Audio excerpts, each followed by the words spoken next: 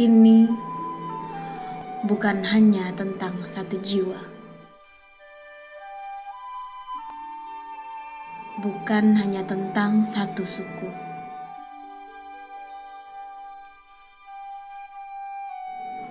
bukan hanya tentang satu agama.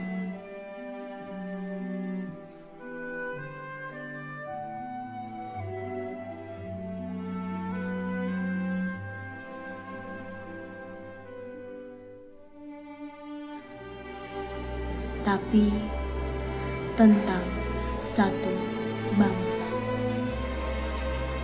yang menyatukan keberagaman bersatu di tengah jutaan perbedaan Indonesia.